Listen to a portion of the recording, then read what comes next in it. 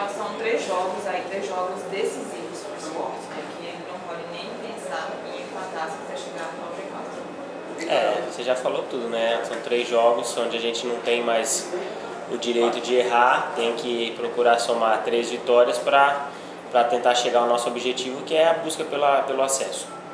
Do Nova, Daniel. Ah, foi difícil, né? Uma expulsão nunca é, é bom, a gente fica chateado de ter acontecido.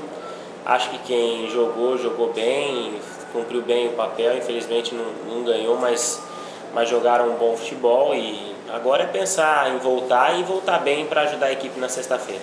E amanhã tem o Santo André, né? Claro que vive uma situação totalmente diferente do esporte, mas sempre aqueles, joga, aqueles times que ficam um pouco mais embaixo, tem aquela maneira de tirar aqueles pontinhos que tanto vocês precisam nesse momento. Todo cuidado é pouco amanhã, dia 25. Com certeza, acho que o Santo André vive um momento é, desesperador, porque pode ser rebaixado aqui com uma derrota, então vem para um jogo de vida ou morte, então é uma equipe que vai levar perigo e a gente tem que estar atento, porque a gente também joga um jogo onde a gente tem que vencer para continuar com chances. E vocês voltam com reforços importantes, você, Germano, Igor. É importante, né? O plantel todo aí à disposição. É, a cada jogo tem algum jogador suspenso. É, hoje esse jogo também não vai ser diferente, mas o importante é que a grande maioria do, do elenco vai estar à disposição. Ô Daniel, e o, o esporte já mostrou que dá para chegar, porque a Série B está muito confusa, muito apertada, né? São três pontos de diferença, o esporte não depende apenas dele, mas ganhando os três jogos, com certeza algum time que está na frente vai acabar tropeçando.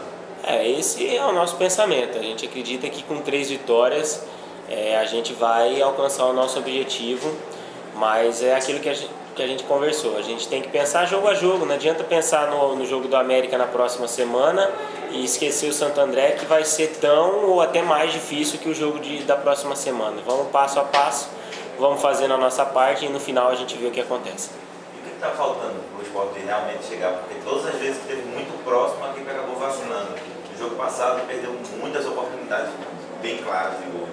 É, tá faltando vencer, né? É difícil, só quem sabe é quem está ali dentro, entendeu? No momento ali é uma fração de segundo, é aquele momento. Para depois é fácil analisar na televisão, mas ali acaba sendo difícil.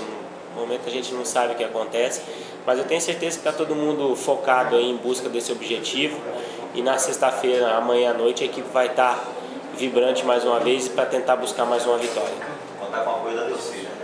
Com certeza, o torcedor ele vai nos apoiar, acho que ele vai comparecer, vai é, dar sua contribuição como vem fazendo e a gente dentro de campo vai fazer de tudo para recolocar o esporte na primeira divisão.